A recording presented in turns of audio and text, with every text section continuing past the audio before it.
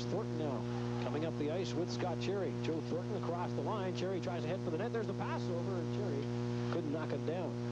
Back up the Sarnia Sting. Andy Delmore up the middle, looks around, nobody beside him, so he just decides to slow down the play and shoot it in. Now behind the play, we've got Joe Thornton and uh, David Bourque that are going to mix it up.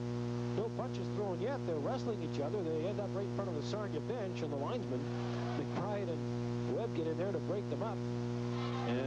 Bourque and uh, Joe Thornton try and go at one another, and down to the ice goes Bourque as Scott McBride gets the pinball.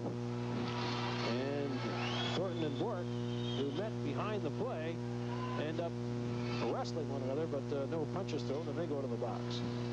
That's got to be just strictly out of frustration. I mean, if this game was a little bit closer than it was, or the Hounds seem to have a little bit more life than they do, you'd never see Joe Thornton doing anything like this. But uh, I guess frustration boils over, and he and Bourque ran into each other, and it resulted in a wrestling match.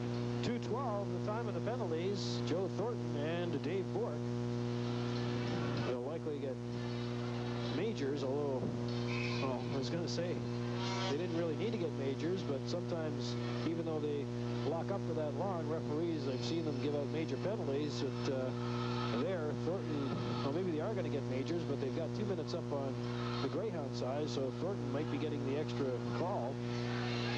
Uh, yeah, I don't know if that was actually... Uh, there weren't really any punches thrown, no. so it could they could very well get minors or double minors, but Dave Lynch decides to each give them a major penalty and tags on an extra two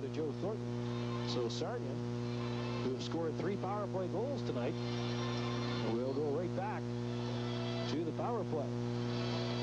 I think that's something that uh, that Lynch is going to have to watch for for the rest of this period is uh, tempers boiling over because they have throughout the first two periods and with a three-goal lead for Sarnia, if they increase that, it, it could turn into an ugly and long night.